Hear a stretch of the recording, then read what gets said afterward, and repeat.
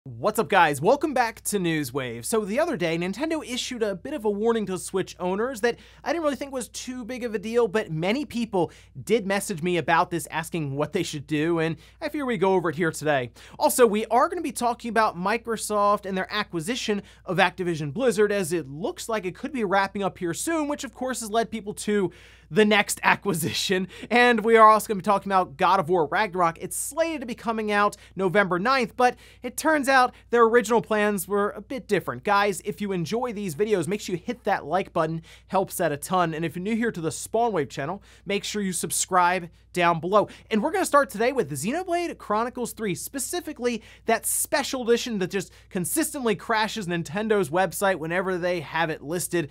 Well, people in the, the UK and parts of Europe and all this have been wondering when they'll get a shot at pre-ordering this special edition. Turns out it's gonna be after the game launches. Take a look at this. This posted up over on Nintendo Life with an email that was going out to kind of address this matter, saying due to unforeseen logistical challenges, we are unable to open pre-orders for the Xenoblade Chronicles 3 Collector's Edition before the game launches on July 29th. Again, this is for UK and parts of Europe. They say we apologize for any inconvenience caused. To give customers the flexibility to purchase and enjoy the game at launch, we will now be offering the contents of the collector's edition, soft cover, concept art book, the steel case, all this, as a separate purchase at a price that does not include Xenoblade Chronicles 3 software. That way, of course, if you just want to buy the game in, uh, what, two weeks, you can do that and then just pay, I guess, the difference. We'll see what the pricing actually is when they do launch pre-orders uh, later on this year. But it does kind of bring up the thought process around these special editions that we're seeing a bit differently now than maybe even last generation, where with something like God of War, it doesn't even come with the disc. It's just a code. And I've wondered if we should just get to a point with special editions where they just doesn't include the game. You just buy the extra contents and that's what you're getting. You can buy the game separately if you want, and of course the price reflects it, but as we come to know with a lot of these companies, the price doesn't always reflect that. However, I guess this is the best thing Nintendo can do here, and I think a lot of this has to do with the changes around the release for this being moved up. Unfortunately, while the game will be there and ready to go on July 29th, the contents around the special edition uh, in UK parts of Europe will not be. So I guess, hey, if you're looking for that, pick up the game later on this month and then keep an eye out for whenever pre-orders go live for the special edition. Also, we did have reviews go live for two games yesterday. We'll start with the first one, that being Stray. We can see here over on Metacritic, currently sitting at an 84, which I think is pretty good for Stray. Uh, we can see the split between critics, 59 positive, 10 mix, this being on the PlayStation 5. I had a chance to take a look at a couple of reviews, and I will admit the game looks a bit different than I was originally picturing from that first trailer, and it appears it's not as much of a platformer as I was thinking. There's no actual jump button in the game, which Seems kind of strange for a game where you play as a cat. However, when you look at different ledges and you then press the cross button, you will jump to that ledge. They did have quests that were set up in the game, different collectibles and things to do, obviously, from like the cat's perspective, which for cat lovers, you're going to want to pick this game up. But I am interested in kind of the unique concept of Stray, so I will certainly be checking it out uh, later on today. Now, the other game is As Dusk Falls, and we can see the Metacritic score for it here. This did release on uh, the Xbox and everything through Game Pass, and it coming in at a 76. The split currently 38 positive, 14 mixed, 2 negative, and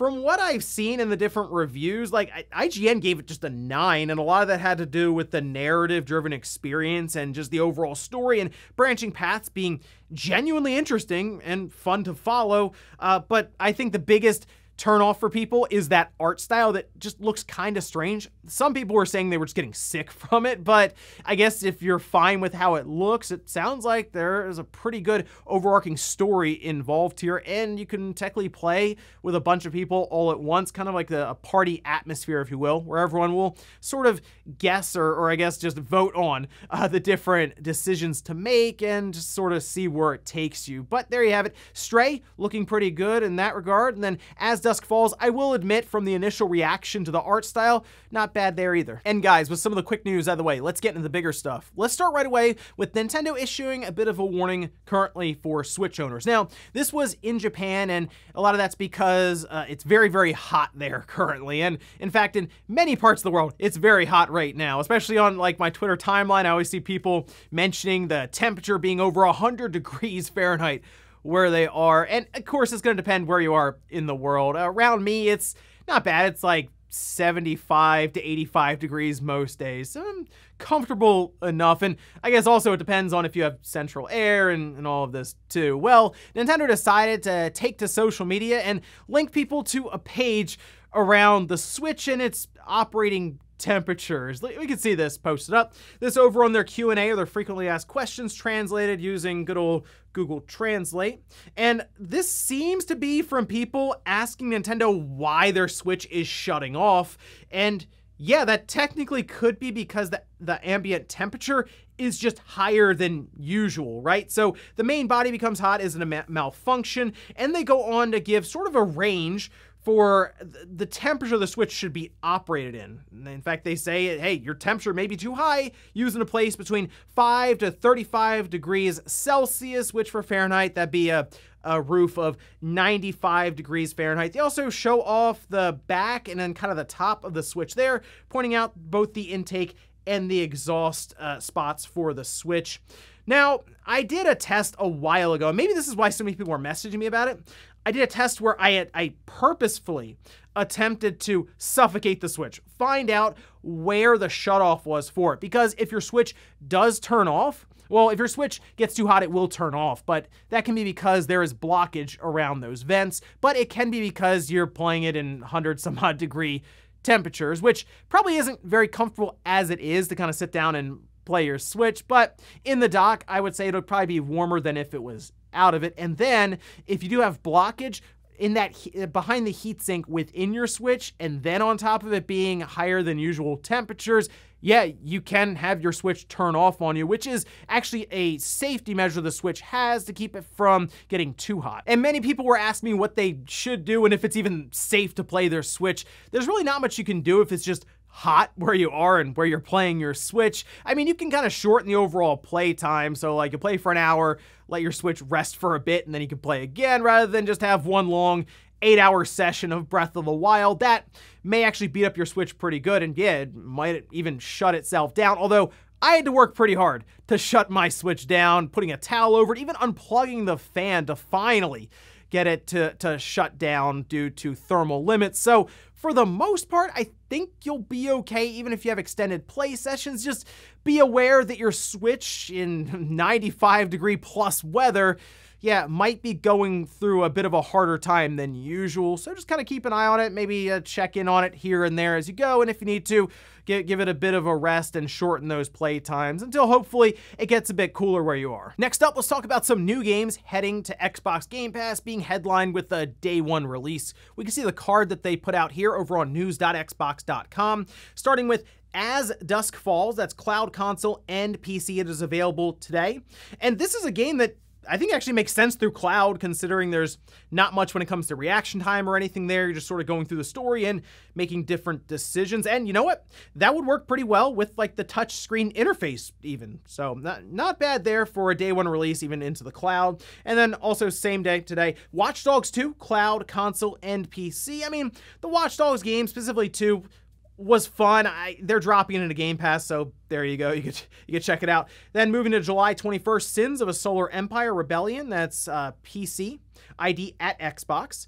Then we also have MotoGP 22 Cloud Console and PC. Torment Tides of Numenera, that's cloud and console. Then moving up to July 29th, we have Inside, that's cloud console and PC. That is a really cool atmospheric game, and I completely recommend this one. It's it's something you won't really play anywhere else, at least this style of game. So make sure you check out Inside, a, pretty cool addition there. Overall, while this is kind of a, a, limited number of titles to close out July with the, the randomness of a Watch Dogs 2 getting thrown in there, I do think it's good to have As Dusk Falls going into Game Pass day one, since there are a lot of people, I'm sure, who are unsure if they would enjoy the game or not. I mean, if you're really into a story being told in a game, this is probably right up your alley. But otherwise, it's good to have in Game Pass so you can just kind of download it and try it out and see if you can stomach the art style or if you can even get into the story itself. Also, the idea of it being a party game where you can sync up apparently your cell phones to act as controllers and make decisions on each screen. That's kind of a fun idea, especially if no one in the room talks to each other when it comes to making decisions and you just kind of see where the room takes the story. That could be interesting there. Um, but I will once again recommend Inside. I just think it's a, a pretty interesting experience. And again, something that a lot of people probably would have maybe missed out on it going to Game Pass. We'll at least give it some more exposure there. Next up, let's talk about the biggest deal in gaming, and that is, of course, Microsoft working to acquire Activision Blizzard for like $70 billion. It was a massive announcement when it happened. Certainly the internet just exploded in discussion. What's this mean for the overall landscape of things like Call of Duty? And it looks like we could have this deal close before the end of this year. We can see this post up over on VGC, where they say Microsoft's ongoing acquisition of Activision Blizzard could be approved by the Federal Trade Commission, FTC, as soon as next month. The FTC asked Microsoft and Activision Blizzard for additional information in March as it continue to review their proposed acquisition deal. As noted by the FTC's own guidance, this means the body now has 30 days to challenge the acquisition. Otherwise, the deal can continue this after the necessary documents were provided. Now, there is one other uh, there is one other commission that is currently looking into this deal that being the cma or competition and markets authority that's in the uk they have a deadline of september 1st to give its initial decision on the matter. And I guess if it goes through there and the FTC is all right, we could see this thing wrap up before the holiday, maybe even in September or October. And after that, people have wondered, what's next? No, seriously, we're, we're talking about this massive deal, right? Like the, them buying Activision Blizzard for $70 billion. And now people are wondering if Microsoft is going to buy Netflix. No, no, seriously, take a look at this. This was posted up over on Yahoo, and this is from an analyst who is essentially like yelling at Netflix and Microsoft over it, saying, uh, "You guys think we're dumb?" you clearly there's something else going on here. This has to do with Netflix choosing Microsoft to help roll out its new ad-supported offering. If you're unaware, Netflix has been struggling. That's to put it lightly. I mean, their stock crashed. Their whole value of the company crashed like 25 to 30% in a single day. And a lot of this is because they started to have a downturn when it comes to subscribers, which is something that's like never really happened for Netflix in the past. And they're basically scrambling looking for answers. One of them has to do with them apparently running ads for a lower subscription fee. Now, this analyst, Laura Martin, says it could be that Netflix is looking for an exit when commenting on the current deal between Netflix and Microsoft, proposing that the streaming giant might be making a long term play to be acquired by Microsoft. Netflix is trying to get closer to Microsoft in hopes that after Microsoft digests its Activision acquisition, it turns and buys Netflix next. Now, why in the world would Microsoft want to buy Netflix if they're struggling so much? Well, the thing with Microsoft that's kind of interesting is every time they're making these acquisitions, they're kind of doing it when the company they're basically targeting is struggling badly. I mean, look what happened with Activision Blizzard. I don't really to get into that one with how their stock really fell after everything was going with the lawsuit, and it seemed like Activision was having a hard time getting any game out that wasn't Call of Duty because they were pulling so many studios off to work on just that one franchise. You look at Bethesda and uh, and ZeniMax. We Fallout 76 was really ugly for. Uh, for that company. So now you think, would Microsoft really make a play on Netflix? They're partnering for their ads and the technology that would fuel that. And it is possible that Microsoft could look towards Netflix as being part of their overarching metaverse play.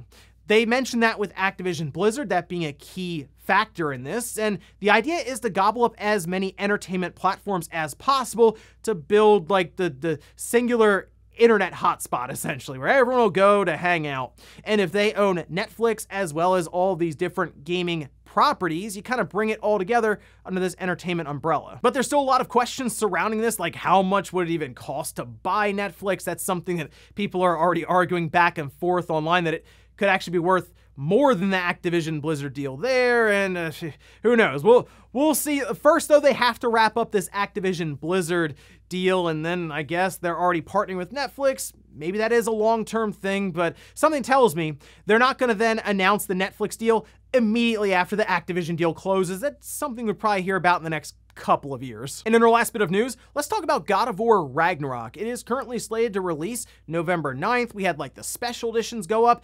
Those sold out and they're already being sold on eBay for like twice the value, but there was something odd that happened around the time of the reveal for those special editions.